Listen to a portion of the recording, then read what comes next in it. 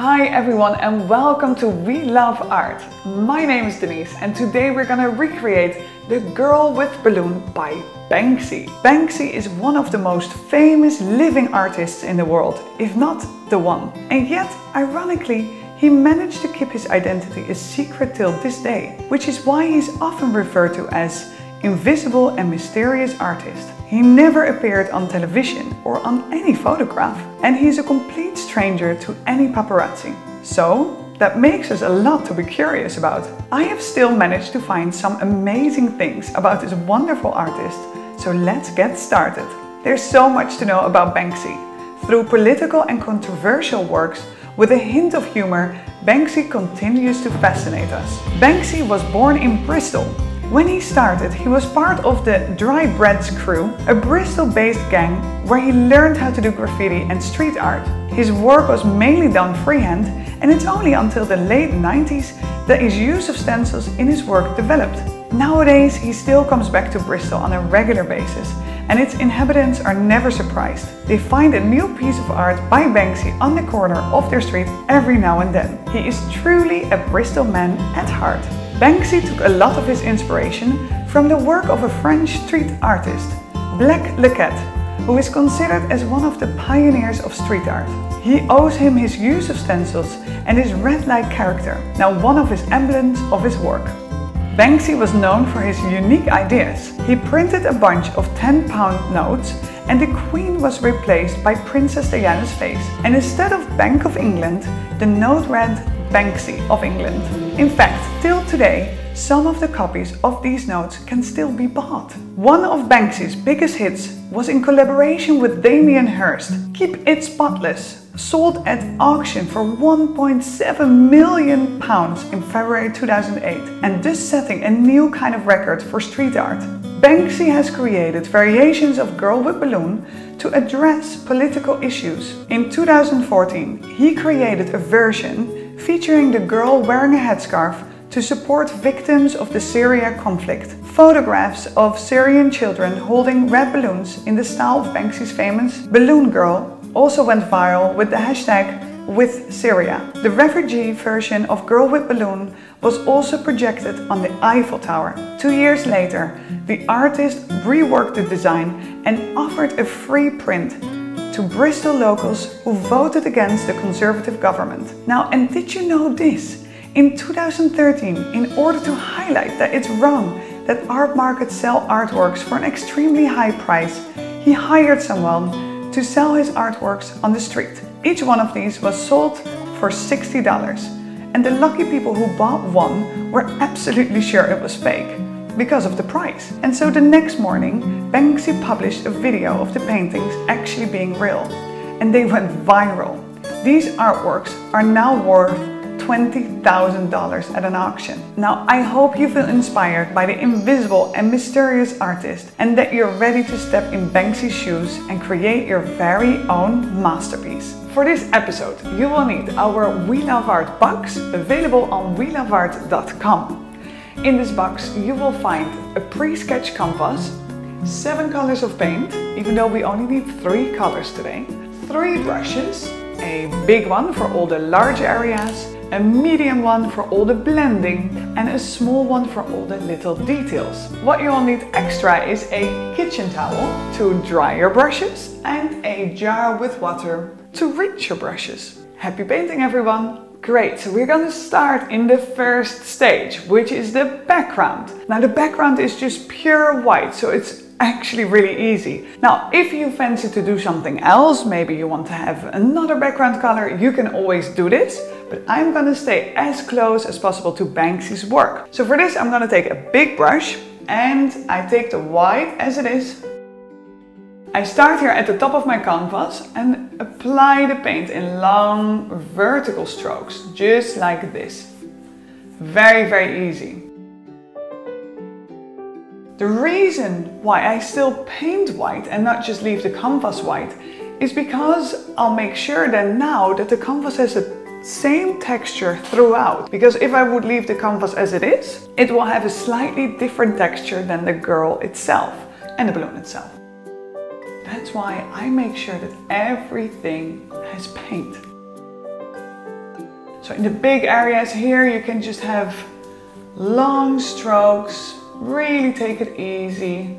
It's like almost you're warming up for today. So warming up those painting muscles.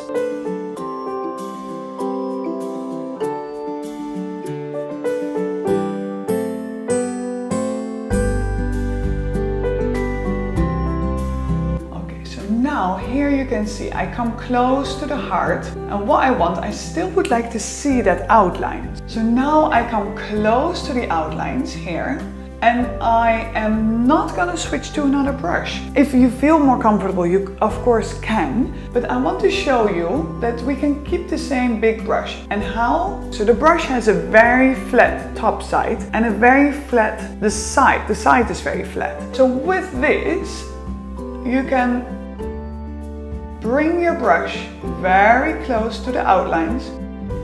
Either touch it or stay slightly away from it, but here I rather bring it slightly over the outlines. So then I know for sure everything is filled, just like this. Beautiful. Beautiful. And here, then I'll bring the direction down again. And then I continue. Now here, I might just go over it, over the string. If you feel more comfortable to go slightly around the string, you can still like this, and you can still do it. But for me, I rather go over it and just create my own little string at the end. So this is it. But now here, at least we still know where the heart is gonna be later on. What I often do as well is that I continue to paint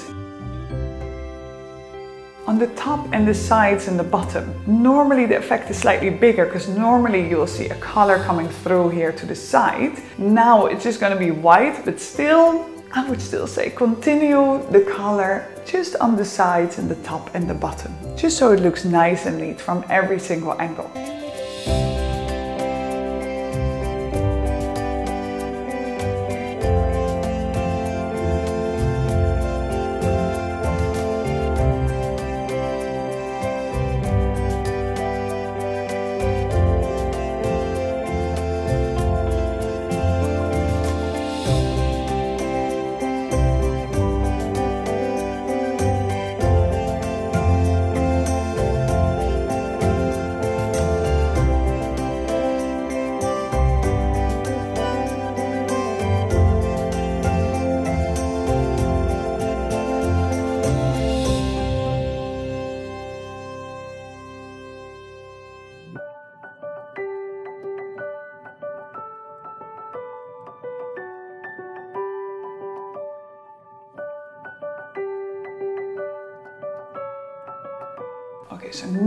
Come quite close here to the girl. Same as what we did with the heart, we're gonna go as close as possible to all the outlines. So again, I just keep for on the outside of the girl my big brush. Later for the smaller details within the girl, because the girl also has some white parts, then I'm gonna go for either a medium or a small brush. But for now, for the outlines, I might as well use my big brush and there's actually another reason for it. Because I have used my, my big brush throughout, if I will remain with the same big brush, it will give the same texture. Because otherwise you're gonna see with a very small brush a very delicate little outline around her. And we actually just want to maintain the same feeling, the same flow throughout. So that's why having my same big brush actually will make it look extra nice. And this is in the end what we are going for.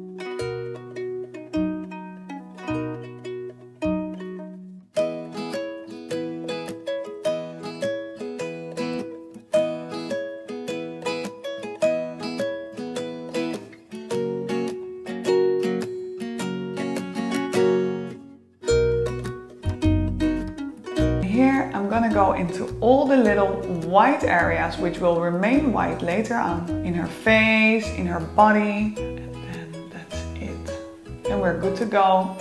We're good to go to the next color.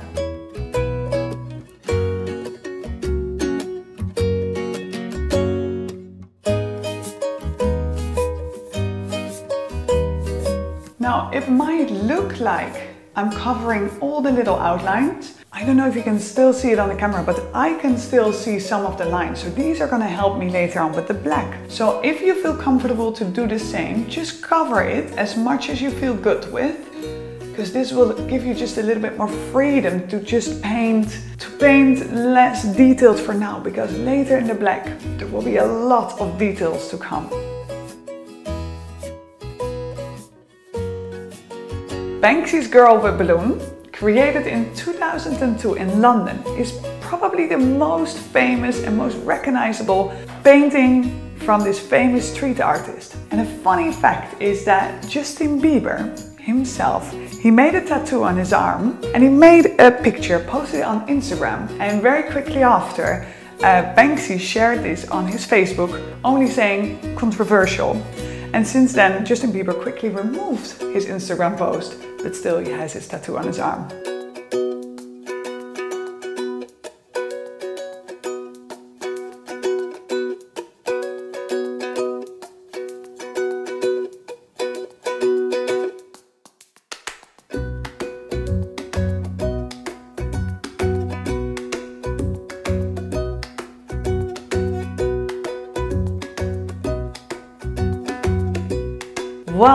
So now the white part, the white background is in, the white parts in the girl are filled. Now we're gonna make sure that it's dry before we go to the next stage, which is all the black parts within the girl. Okay, super. So the background is in. Now we're gonna move to the fun and exciting part, which is the girl. For this one, we require a little bit of a technique and what we need to do. So we start off with a small brush. So use a small brush. Then we're gonna take the black, dilute the black, dilute um, the black with a little bit of water.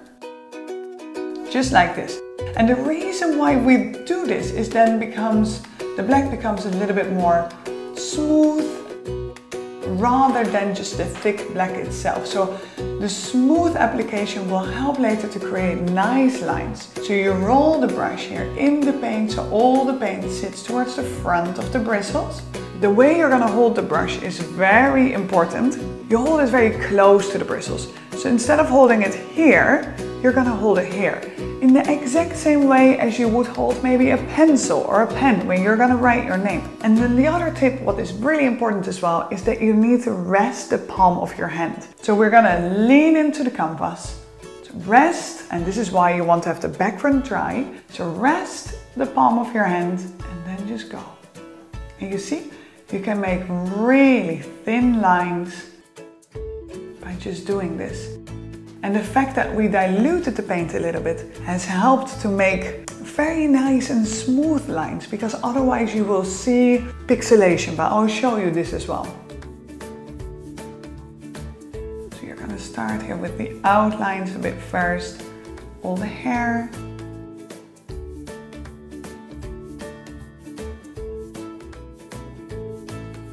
You see now my brush is slowly drying I don't know if you can see it here, the pixelation is forming. So do you see this, huh? So that's the dryness, for example. So that means we just need to repeat the process again. So we dilute the paint with a little bit of water, roll the brush so everything comes to the front of the bristles, so all the paint sits there. Lean in, hold the brush close to the bristles, and then you go again. With just a few tricks, you can really become that master in just one day.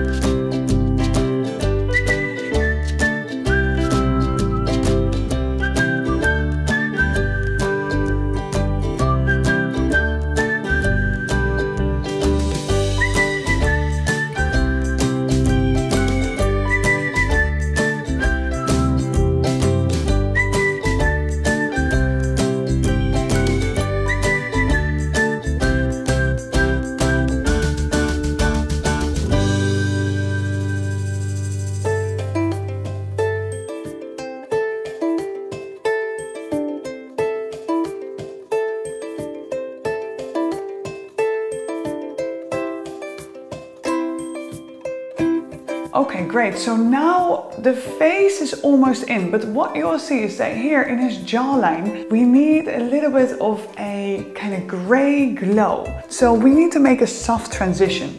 How I'm gonna do that? I take a medium brush like this, and I'm gonna blend here on my palette already a little bit of gray.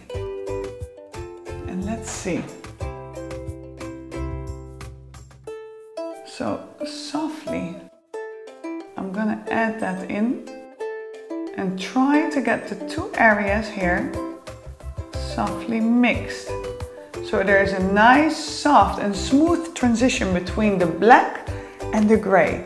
And how we do this is with the wet on wet technique. So the black is still wet and now we add the gray, which is then also still wet, and we softly stroke in between the two wet areas. And you see you get a very soft gradient. Now, towards the edges, I am going to use again my small brush because it's a little bit too delicate for me to handle it with a medium brush. So I use a small brush, might even add some water and then we add those delicate lines here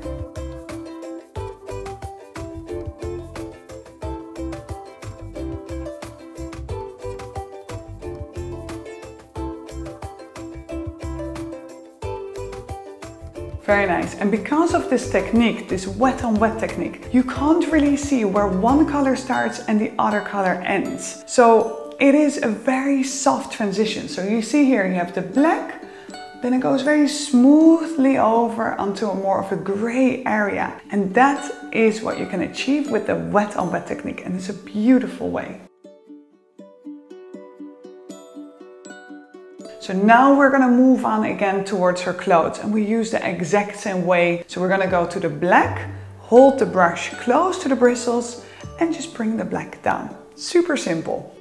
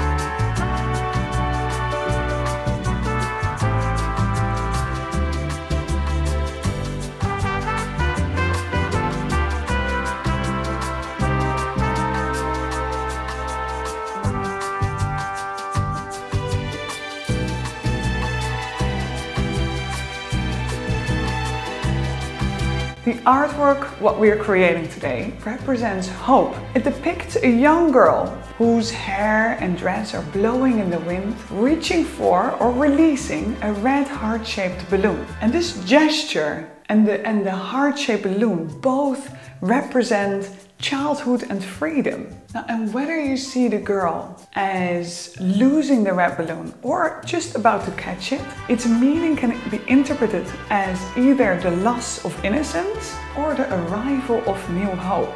Isn't that just so beautiful?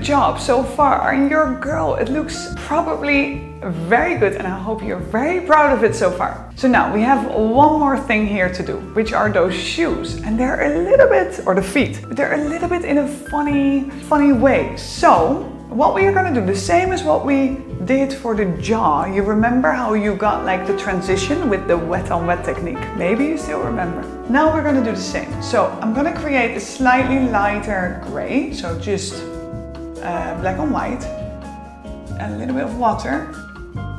And then we're gonna create those feet and, and feet.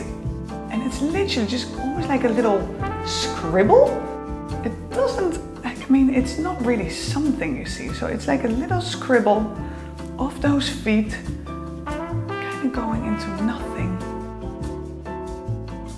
Yeah, just this.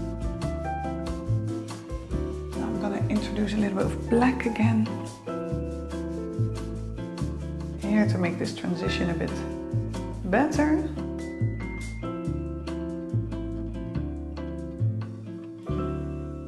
Now don't ask me what this exactly is. Are these two feet? One, one, I, you can't really see it. It's not 100% clear. We just follow what he did as good as we can. I'm gonna extend it a little bit more here at the bottom.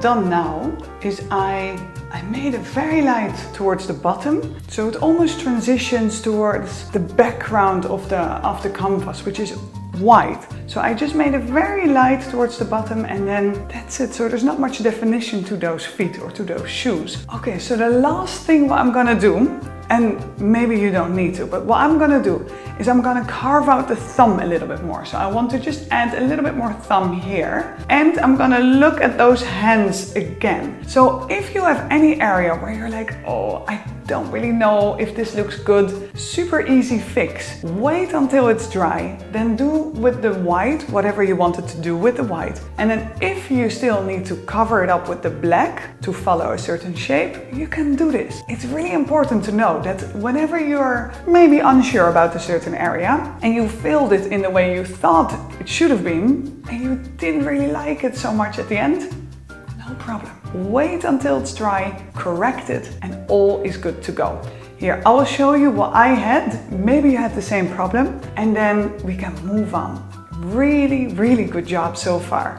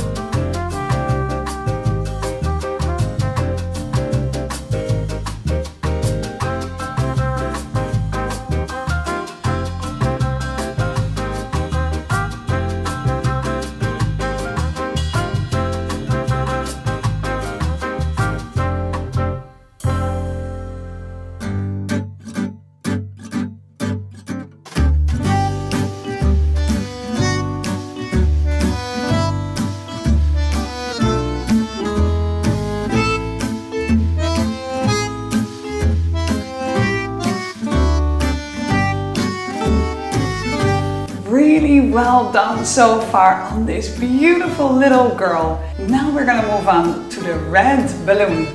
Great, so your girl is in and I'm sure it looks amazing. Now we're gonna go to the final part already of this painting. So we're gonna make the red balloon. If you want to have the balloon in any other color, you can definitely do so.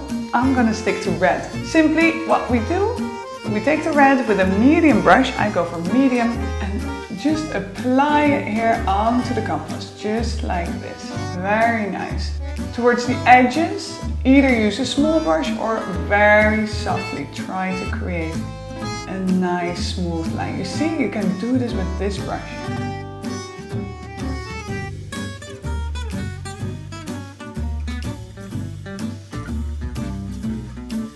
Today we're gonna create, or I'm creating a red balloon, but did you know that he made also versions of a pink balloon, a purple balloon and a golden balloon. And actually the golden balloon was sold in 2021, so this year, for a little more than 1 million pounds. How incredible is that?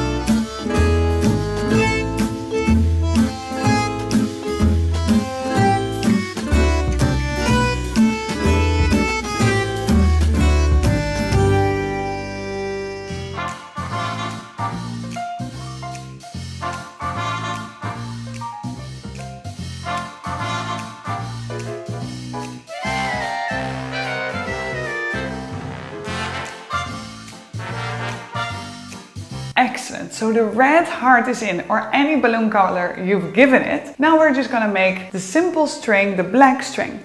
We use a small brush for this and again similar as to what we've done with the girl we add a little bit of water we to dilute the paint then we roll the brush into the paint hold it close to the bristles and off we go so the string comes from here that's it and it goes slightly thicker. And then a bit thinner.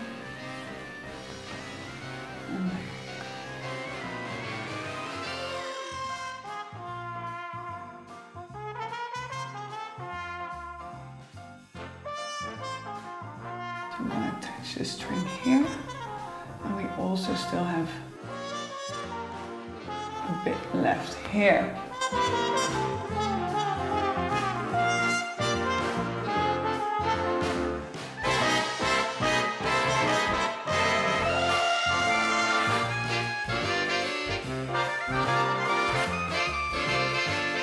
So we've added now the black string and now what we will do still is add a tiny bit of red here.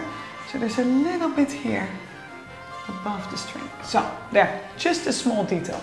And then the final part of this balloon is this kind of white highlight here at the two top corners. How we're gonna do this? If your balloon is dry, like mine, then we're gonna just dilute the white paint with a little bit of water and softly add it in. If your heart is not dry yet, then you just take the white as it is and just softly try to blend it the same way as you've done with the wet on wet technique. Softly try to blend it that way. If it is dry, like me, then you just dilute it with some water. So here, get rid of this brown. Yeah. And then we softly start here at the corners.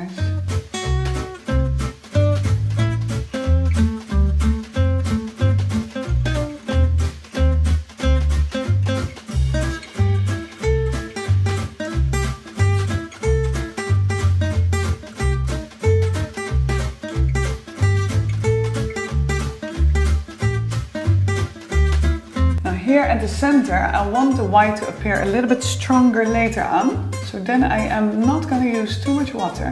I just apply the paint as is on the heart. So here I didn't dilute it with any water.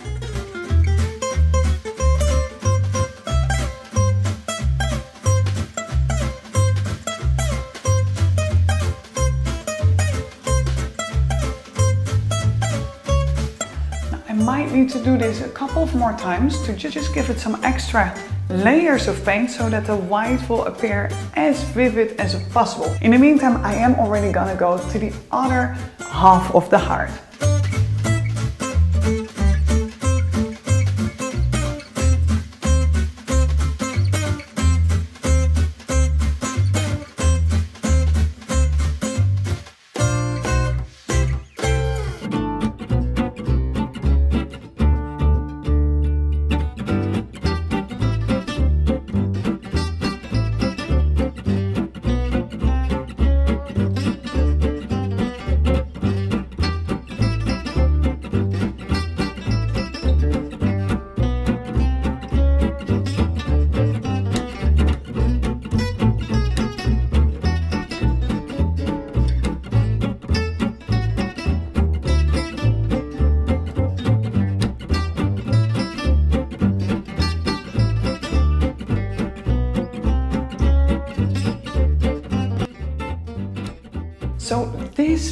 Painting is not only famous for the image as we know it, it's also really famous as to what happened to this painting. So in 2018, only seconds after this painting was sold at an auction in London, the painting was shredded to pieces. And how does it happen? Banksy, he actually hid inside the frame a shredder and the second the gavel fell, the painting was shredded into all little pieces. So the buyer before the shredding still decided to still buy the painting and so he paid 1.4 million pounds for it and he named it Love is in the Bin. How crazy is the world of art?